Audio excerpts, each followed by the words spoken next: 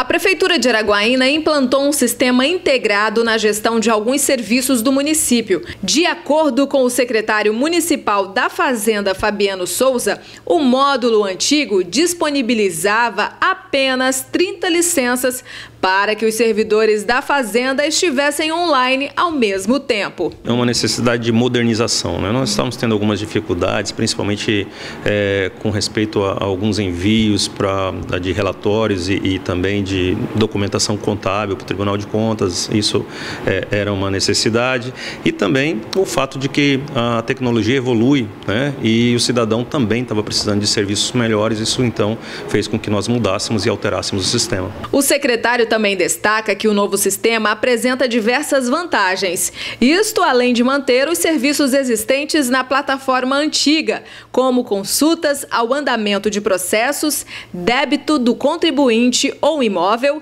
e validação de certidão. A maior vantagem é com respeito ao fato de que hoje nós temos uma quantidade de acessos ilimitado. Né? Então, sistemas anteriores nós tínhamos uma quantidade de licenças é, para poder acessar. E caso tivéssemos é, necessidade de mais serviço ou mais servidores acessando, alguém tinha que desligar para que o outro acessasse.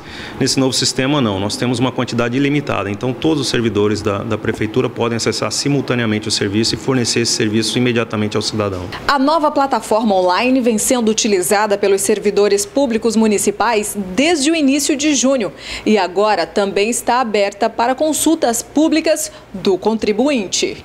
O portal da transparência também teve sua interface melhorada e continua trazendo todos os serviços para consulta pública, garante o secretário. Essa mudança de cultura ela demora um pouco. Geralmente o cidadão tem ainda a cultura de vir até o serviço público, até o órgão e buscar essa informação. Mas a, a gente realmente espera que com o tempo o cidadão aprenda a utilizar isso né, é, é, através dos seus meios de, é, de comunicação e consigam é, desafogar um pouco. Essa é a ideia mesmo. A gente pretende divulgar e, inclusive, através de vocês aí, que o cidadão já tem esses serviços disponíveis aqui em Araguaína.